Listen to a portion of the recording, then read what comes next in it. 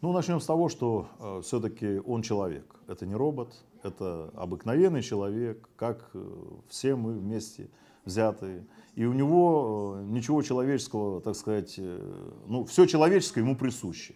Если человек э, по какой-то причине, причем такого статуса человек, принимает решение и объявляет об этом на всю страну, первое, скорее всего, он не желает, чтобы ходили кривотолки, либо какая-то искаженная информация.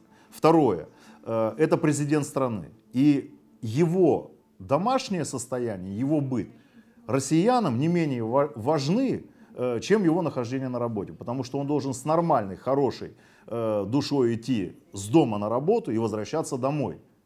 И если есть какая-то несовместимость, то уж лучше пускай у Владимира Владимировича произойдет официальный развод, если он этого хочет, но чтобы у него было нормальное работоспособное состояние. И он э, не мучился из-за того, что, ну, по каким-то причинам, по разным причинам.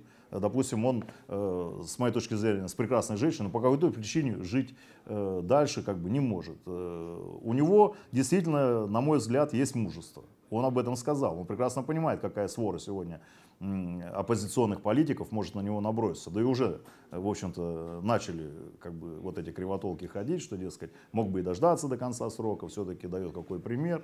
То есть, ну это, по-моему, неправильно. Это сугубо его личное решение. И в личной жизни ковыряться, по-моему, не надо. Наши стандарты и европейские стандарты все-таки отличаются друг от друга. Если бы в Европе политик мог себя вот этим шагом похоронить, то у нас, ну, ну как бы все-таки Русь, матушка, это немножко душевное состояние, понимаете? Все-таки душа в России есть. И поэтому, э, еще раз повторюсь, ничего человеческое Путину не чуждо.